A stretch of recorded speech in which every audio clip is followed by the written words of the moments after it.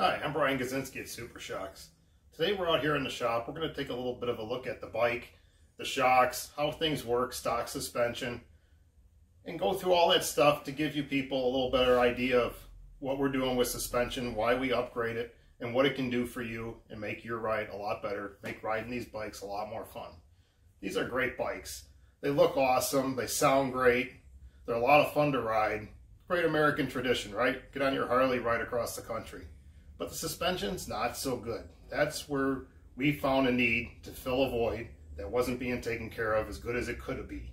And we found ways to improve the ride of these things, to make riding these so much more fun, so much more enjoyable, take away all those harsh little constant annoyance feelings that you get, feedback from the road, make the bike handle a lot better, and then when you hit that set of railroad tracks or that big pothole, you don't get jolted off the seat you can ride over those things now with a set of Super Shox and laugh about it.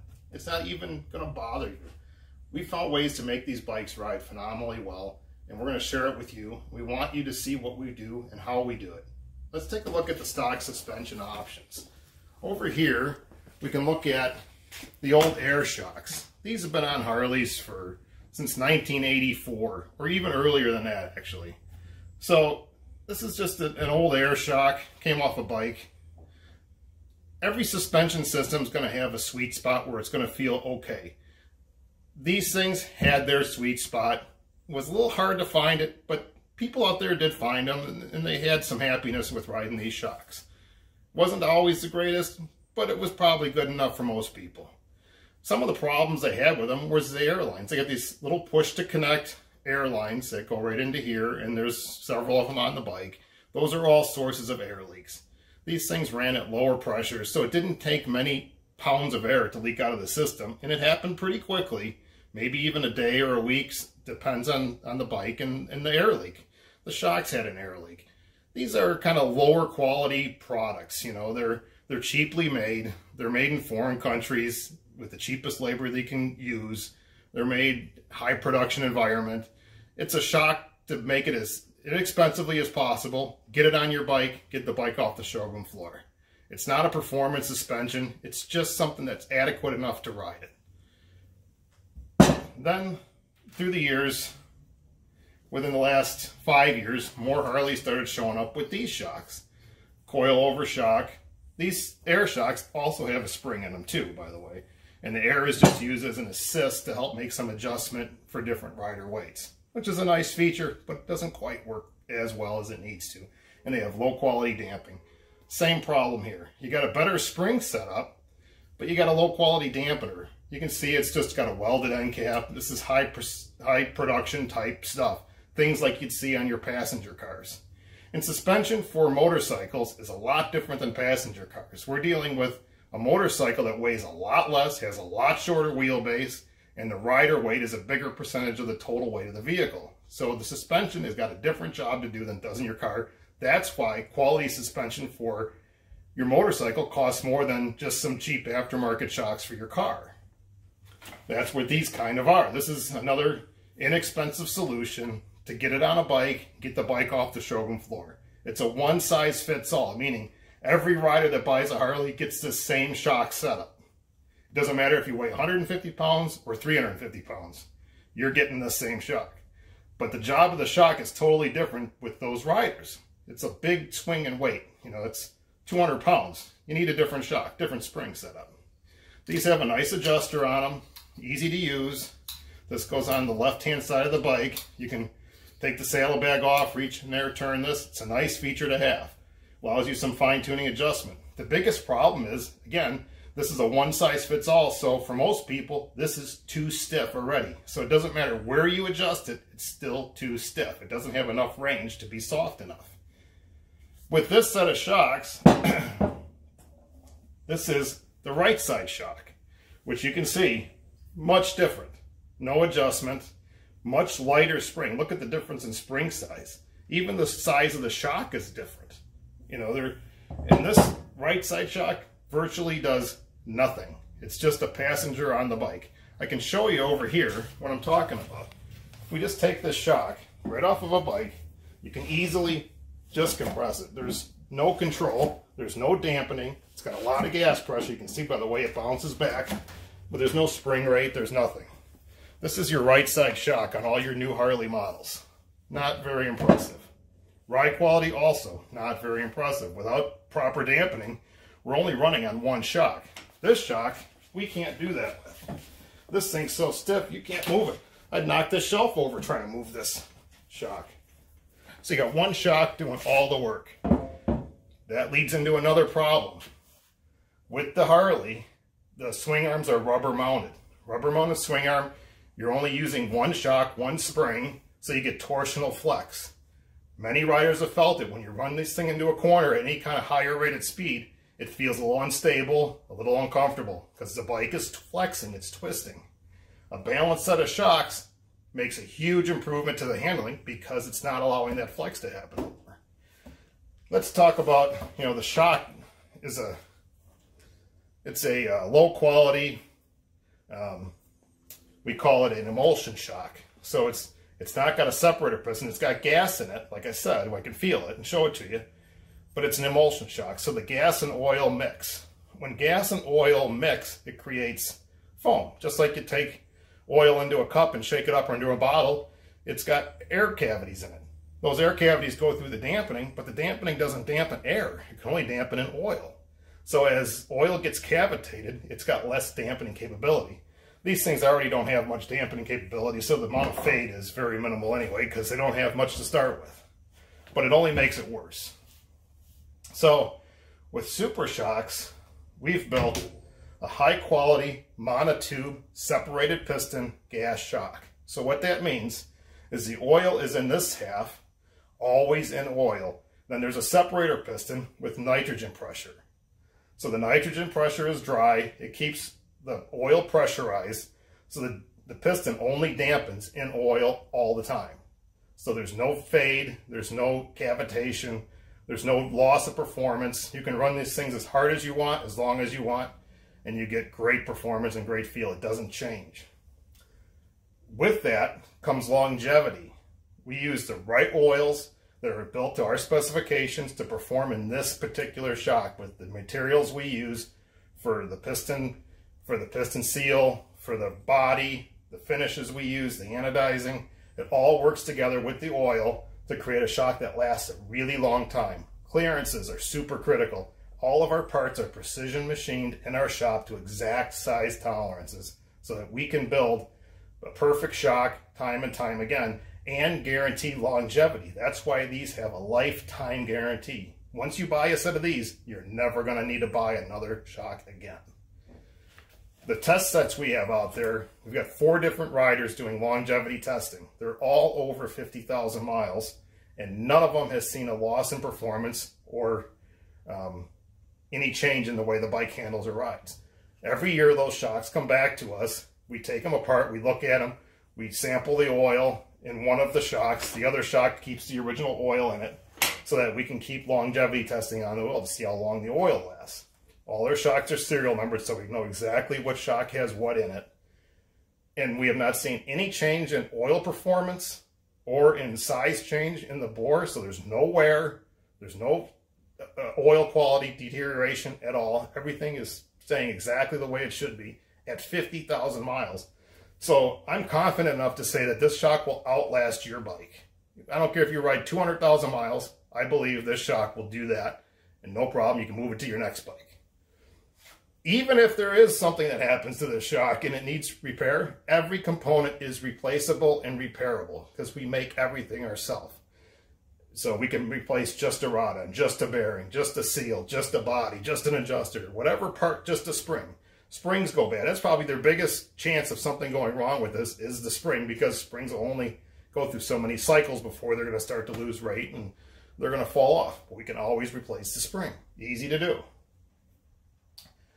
With Super Shox, they're all built based on the rider weight. So we can do what the factory can't do because we know who's riding the bike. So we know your weight, how you ride the bike, if you got a tour pack on, if you don't. We take all these things into consideration, passengers, trailers, whatever it is you got going on, we can give you the right spring rate and the right dampening. So it suits you, the rider. We made them easy to adjust. You'll not see this on any other shock on the market, a numbered preload adjustment scale. So this makes setting the preload for the rider weight and tuning it super easy. Each one of these machine grooves is an eighth of a turn. So you can make an eighth adjustment, a quarter adjustment, three eighths, a half, so on. It's easy to set, easy to tune. It's all based on rider weight. So with the set of shocks, you get a setup chart. You find the rider weight, takes you down to a setting number. Tells you how to adjust them based on what you feel. So you get the shocks on your bike, set it up based on your weight, whether you're solo, two up, whatever it is you're doing. Go for a ride. Ride 20 to 50 miles over the same roads you normally ride. Ride the same way you normally do and see what it feels like. If the bike feels a little bit firm, like you're feeling the smaller bumps too, you're not really getting bottom outs, but you're feeling smaller bumps, you need to go softer. Stop, go a quarter turn softer. Ride again, 20 to 50 miles, what it feels like. Keep evaluating and fine tuning it, and you'll find the sweet spot pretty quick with these. And you'll be right down the road, riding smooth as can be. You'll have great bottoming resistance. You won't feel the small bumps. It'll be plush, controlled, great shock, easy to ride, easy to set up. These are things that you don't see on any other shock you know, we have a bearing in the end. So it's a high quality race quality. We use same thing in our racing shock. Monoball bearing in the end. Um, hardened and ground shafts, polished. Everything is precision made, hand assembled, dyno tested and tuned to match specifically for what the rider is. So you get the best of both worlds of bottoming resistance and plush ride with every suspension system, like I said before, it's got a sweet spot. And our objective is to make that sweet spot as big as possible so you can get the best ride over a range of conditions and rider weight ranges too. So let's look at what we have to offer here. We've got things that nobody else has, like custom color options. We can make about any custom color spring from different powder coat colors to chrome or all blacked out like this one is. You know, great color options. This is, you know, a lot of guys with custom bikes. Harleys are all about customization. This adds another level to that customization where you can go to our website, pick out the color you want that matches your bike or what you want to have, and we'll get that set of springs powder coated for you, your set. There'll only be one of those in the world. And then we have the, any of our shocks can get the custom color spring. So you can add that to anything. The Premier Series, this is the shock that we make for touring bikes, trike, Dyna, Sportster, V-Rod, and FXR models. Any bike with an external shock, this shock will work on there. We got a setup for it based on rider weight, right spring rate, right dampening. For the touring model specifically, we have four different weight ranges that these fit into. So it's not just a standard and a heavy. It's like group one, group two, group three, group four, and we got them based on weight for solo and two-up. Great shock. He makes a huge improvement to the ride of the bike. Night and day difference over stock. For the touring models, we have the Premium Series. The Premium Series comes with a relocation mount. This mount attaches to the swing arm. I'll explain more about this when we get to looking at the bike and how it fits and why it works the way it does. But for now, let's just understand that it mounts right to the swing arm and locks into place and it moves the shock mounting point back to here. This gives us options for more travel or lower ride heights with still more travel than any other shock.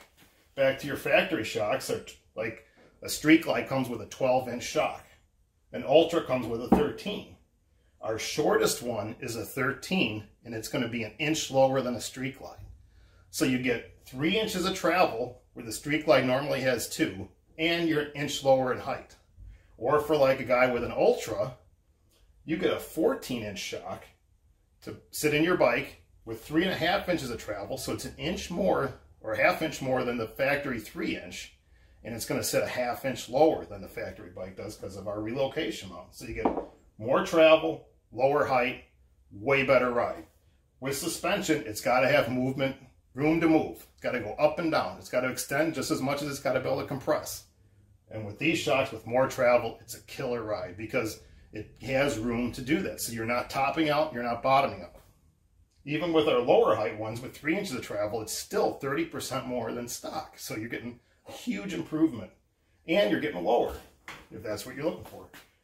The Platinum Series is another level higher than the Premium. Ride quality is still very similar to the same, except for it gives you compression adjustments. So you've got eight different compression settings you can choose from on this canister to make the ride feel softer or firmer. So firmer is higher, softer is lower. So the way these work, it doesn't adjust preload, it adjusts internal dampening. So oil moves through this line and is metered here. It's either slowed down or sped up based on shaft speed and movement. So this makes the bike feel softer or firmer. You still adjust and set preload the exact same way based on rider weight and what you're carrying, but this gives you more elements to tune with. So you can run more preload than you normally would in a softer compression setting. Or you can run lower preload than you normally would and a higher compression setting. This this also allows you, what my favorite use for this is, is people that take long trips. They're on their bike for hundreds of miles in a day, days at a time. You're encountering a lot of different road conditions, smooth roads, choppy roads, bumpy roads, two-lane roads, highways, freeway speeds. Freeway speeds are a whole other thing because everything in the shock works on velocity, so it's speed sensitive. So the faster you go, the faster the shocks are going to move when you hit those bumps. Like uh, a bridge over an overpass, it's going to have a lip, a sharp edge lip. That's going to go into the suspension. The suspension's going to in interpret that. It's going to feel that. With these shocks, if you're on a choppy road, you can make them softer and you won't feel none of that chop because it's just going to eat it right up. It's going to allow the suspension to move fast. If you go into a road that's got bigger holes and stuff like that where you're getting more suspension travel, you can go to a higher setting here and slow that travel down so it doesn't hit down and slam hard. So you get more options, more tuning capability. Great shock. It's what I use on my personal bike when I ride. I love the way they feel. But I also rode on all these, and I love the way all these feel. They're great shocks. They all work great. Just depends on how you use your bike and what you want to do with it as to what we can put you on that's going to suit you best. And that's what we're after. We're after giving you the best suspension you can have for the bike that you have and the way you use it. We got a lot of options, more than any other brand on the market. We've got 36 different shocks that we can put on a Harley Bagger. The other guys, they got two standard and heavy. Let's take a look at the bike here. We've got the Premier Series mounted on these right now. So you can see down here where it mounts, right to the factory locations.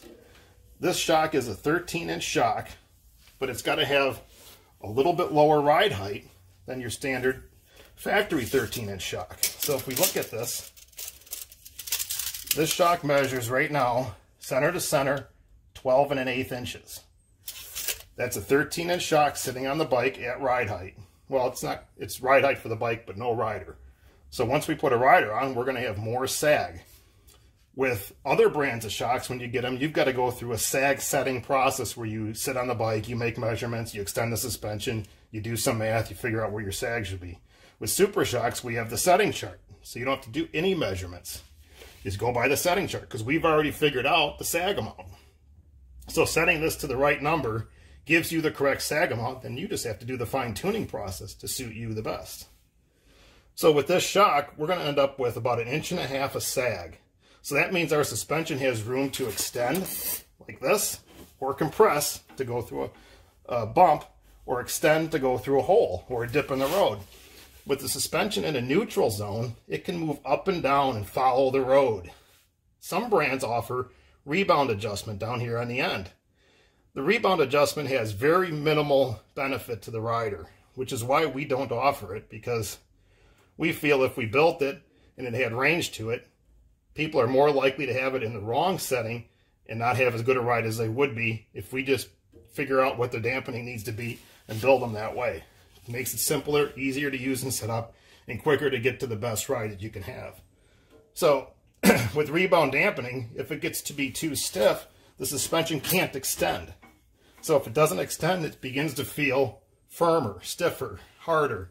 So then you start adjusting here, but it's really the rebound adjustment that's the problem. So it gets you off base quickly if you don't know what you're doing, how to tune suspension.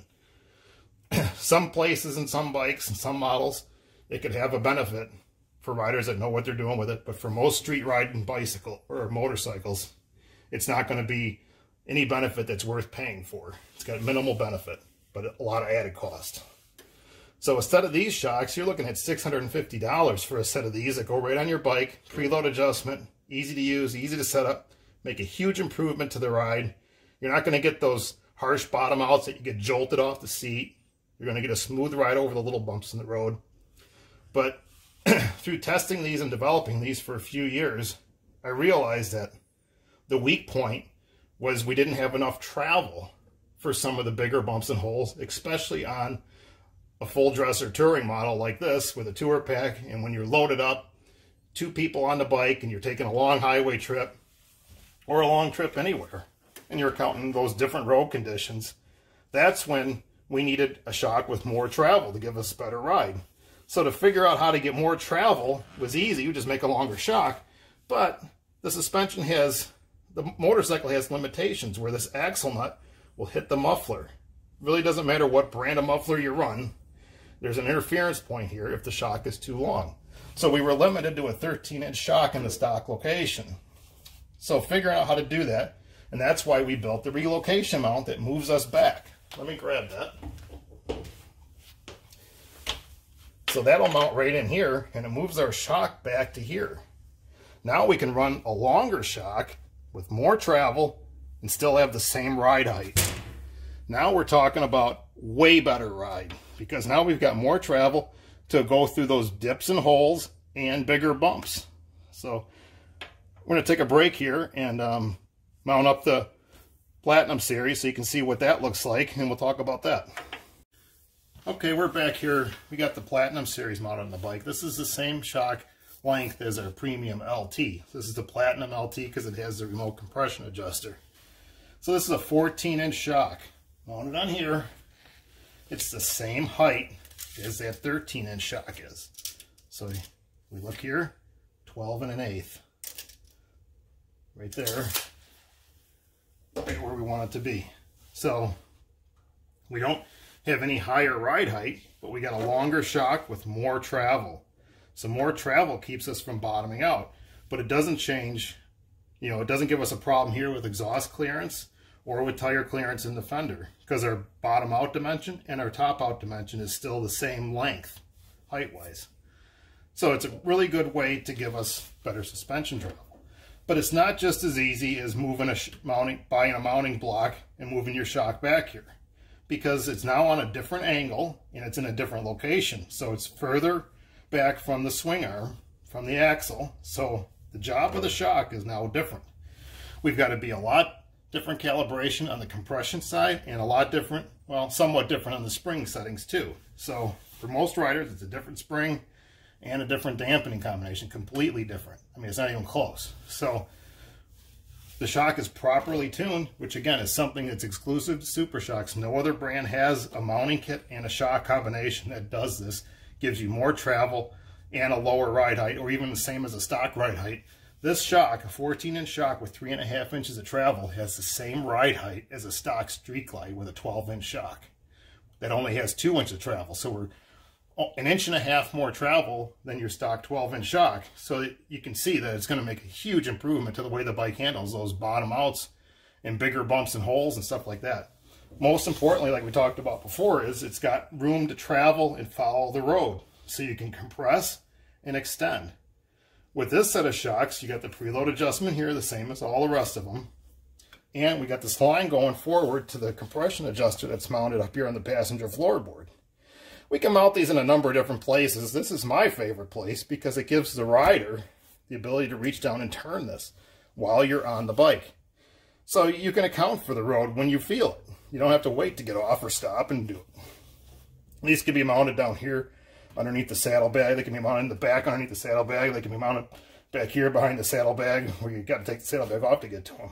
But either way, you get a great shock with compression adjustability. It's easy to use, easy to set up, make your ride firmer or softer. We can kind of take a look at that here and see that on a softer setting, it's easier to compress. We go to a firmer setting and it's stiffer. So you can see that it's going to slow that suspension down. These are small changes to the shock, but make big changes to the way the bike feels. So shock setup and tuning for a motorcycle, especially ones like this, where the shocks are mounted to the swing arm and they're this far back, the spring setting and the dampening setting make a huge difference to the ride quality.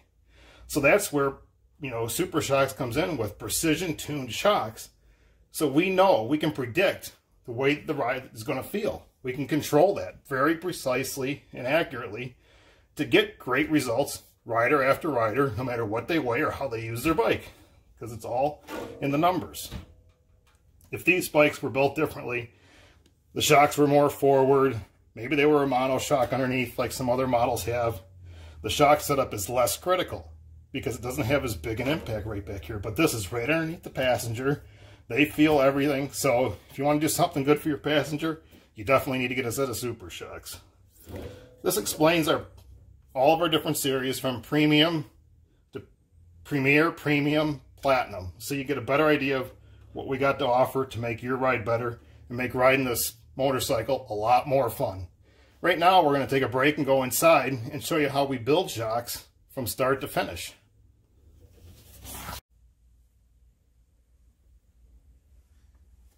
Okay, here we are at the shop. We're going to go inside here and take a look around at what we do at Super Shox. So, a lot of our history has been in racing shocks. We've been building racing shocks for dirt cars since 1997. And um, done a lot there with a lot of different cars and a lot of different drivers across the United States, Canada, Australia, New Zealand, South America. You know, racers all over, winning races still today with Super Shox. We still build a ton of racing shocks and love that aspect of our business and the sport and the competition. It's uh, It drives us to be better at what we do and to build a better shock. These cars run on dirt tracks, so it's kind of rough and tumble. They're banging wheels a lot. They're bouncing off of ruts and holes, so good suspension is really important for those cars, and it's allowed us to build a better motorcycle shock because we've become experts in dampening and controlling vehicle motion when these cars have high horsepower, some of them are you know approaching a thousand horsepower now on dirt tracks. They need a lot of weight transfer and a lot of grip. We know how to build a shock that gives them more grip, more control, better tunability, better options for tuning the car with shocks and suspension than what they ever had before. You know, things have evolved dramatically through the racing world in suspension and cars are going faster and driving better and drivers are performing better because of better suspension and Super Shox has been a big part of that. You know, with different drivers through the years, you know, we've run a lot of different races. You know, Sammy Swindell and um, Sam Haferty and Chris Windom and Eric Gordon won little 500s with our shocks multiple times. I think five times. Um, Kevin Swindell, you know, a lot of different drivers, lots of them. From guys that race at your local dirt tracks, which always get out and watch your local dirt track racers. It's a ton of fun, great family time. You're going to love it. Great competition. All these guys have won races with Super Shox. Dave Darland there. Um, he's in the Hall of Fame. Um, lots of different guys. Fun aspect. Love that part of our business. In here is where we build our racing shocks. So here we got a brand new set of, this is a double adjustable. It's the same exact canister we use on the motorcycle shock. It's used on the racing shock too to tune the compression from a soft to a firm. These also have the rebound adjustment. Like we talked about there, to where on here, it makes a big difference because we're dealing with a heavier car, more wheel weight, more suspension travel, more reasons to have rebound control on these shocks. We also build them in single adjustable versions, so it's just rebound adjustment. All the shocks are hand assembled, dyno tested and tuned. They go right into these shock dynos, get assembled, they get tested and tuned. The tuning on the race car shock is very specific, very accurate, has to be perfect, especially with the adjustable, having all those settings come out the same, because these guys will have multiple sets of shocks for the same car and they all got to match so they can take one off and put another one on in the exact same way. The shocks last for a long time. Here's a set of shocks that we built back in 1999. They're in for service again, so that set of shocks is, you know, 21 years old. Still using them today. They don't wear out. They get broken, we repair them. Here's another set of used shocks. You can see that one's all wore off, beat up from rocks. Still works. We can always repair them, always fix them up, always retune them, revalve them. Guys can use them for many years. This is where we do all the assembly, all the shim stacks, everything gets put in. Our parts inventories here, so the guys have access to it right away to get the shock repaired or a new one built. And here is where we're doing our motorcycle assembly, motorcycle shock assembly. So we start out with the shock parts that come back from anodizing and they're finished with machining. Now they're ready for assembly. So we've got the shim stacks here. All the shims are put in. They're all measured with a micrometer. They go in in the right order. We got our build sheets there so the guys can, you know, shim them up and get them assembled. Once the, the shaft is assembled, the uh, oil is here. It gets measured on a scale, so we get the exact right amount of oil that goes in the shock. They have to measure the oil every time. Pour it into the shock. Shocks are assembled. Monotube gas shock, so you can see the piston is the size of the bore. It's a thin wall body, lightweight aluminum. Monotube gas shocks. So there's a separator piston down here with gas on this side. After we assemble, we pressurize them. Once they're assembled, pressurized, then they come to the shock dyno. We mount them in the shock dyno, and we got one here, so we'll run it. We'll take a look at it. Shock dyno starts up and it cycles the shock at a speed. While it's doing this, it's measuring how much force it takes to go in each direction from 0 up to 12 or 24 inches per second, whatever we're testing at. Then once it's done, it gives us a reading here. of It gives us a picture and the numbers and we can compare it to what the shock should be based on what we're building for and see if it's the same or if it's not. If it's not, the shock has to come back apart, go to the bench, be retuned, back to the dyno, and get set to make sure that we're building the shock exactly the way it's supposed to be for the rider we're building it for. So it's going to have the right spring rate, the right dampening. It's going to be dyno tested, tuned. All our shocks are serial numbered. So on the on the seal housing, you'll see a serial number those all get logged into our system. The dyno files get saved. So we know exactly what the shock was. If it ever comes back for any kind of service or any kind of anything, we can check it and see if it's the same. Down the road, 10 years down the road, you feel like, hey, this bike isn't riding the same. Send those shocks into us. We'll figure it out. We'll fix it. No problem. Lifetime guarantee. Any issue at all, the way our lifetime guarantee, again, is different than anybody else. If you find a problem with a set of Super Shox, all we need is that serial number and we can send a replacement set.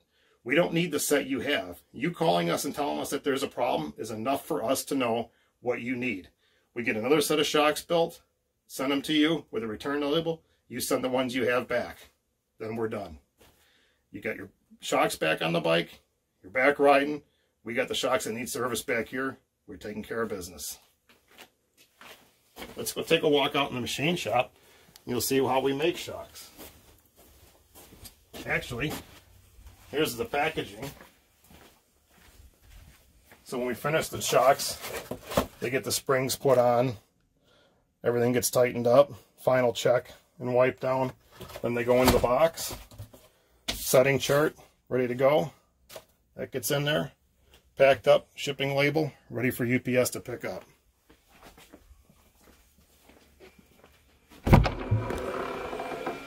the machine shop here, this is where we make everything. With Super Shox, we do everything from the beginning stages of designing and figuring out what to build. So we design it on a CAD system, make detailed drawings of what we're going to make, and then we bring it out here into the machine shop and we make it. Once we make it, we get it anodized, finished up, and then it's ready for assembly like you just seen. Here's some adjustment collars.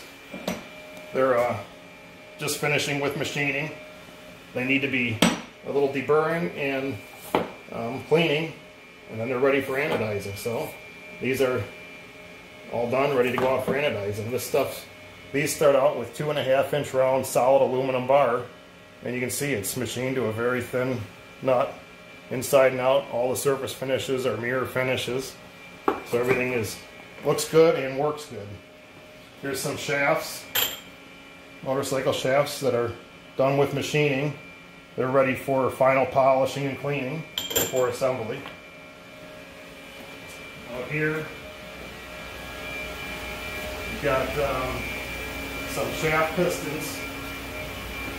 These pistons have been drilled.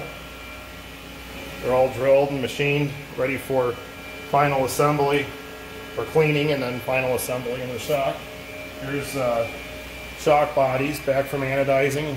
We've done the engraving and cleaning. They're now ready to go into the assembly room. They all get the bearings pressed in. We don't use a bushing, we use a monoball bearing. So it's long lasting and allows suspension movement without play so that the suspension stays tight but has movement to work and, and not bind. Binding creates rough ride and wear. Here's a drawing of how we start out with a shock body. So this was designed on a CAD system and turned into a part. We make a CNC program that makes the part. Over here, we got some internal racing shock parts that are being machined. Racing shafts that are ready for uh, machining on the ends and inside. Here's some more motorcycle shafts for different lengths, for different strokes, for different types of bikes and applications. Ready for final polishing. We got this machine here this bar feeder is what it's called. Takes these bars, full length bar, long, feeds them into this lathe. This lathe then does the machining in here. So we got the raw stock come in here. We can do the machining. It's got a sub spindle over here on this side. So the sub spindle can come up and grab that part, transfer it over here, do the machining, drop it into this parts catcher. The parts come out here on the conveyor, so we go from a solid rod. This is the dust cover that goes inside, inside the spring on the shock body to keep the spring from rubbing the shock body and keep the threads clean so you can make easy adjustments. sealed on both sides. So those come out here. Go into the parts catcher. Ready for uh, cleaning and final inspection and then off for assembly. That's how we finish our parts and make them. Let's take a look at how we start out. Here we have raw aluminum that's just come in. This aluminum is made in the USA. Comes in a solid bar like that. And these make shock bodies, just like this. When we're done, it's machined all the way around, inside and out. It takes about four steps through the process to make these happen. And we process them and make them beautiful parts. Here we have material for the relocation studs. So these steel bars get turned into these studs. Just like that. That's how we make things at Super Shox. Thanks for taking time to watch the video. Give us a call, give us an email. Let's find out what we can do for you to make your ride better.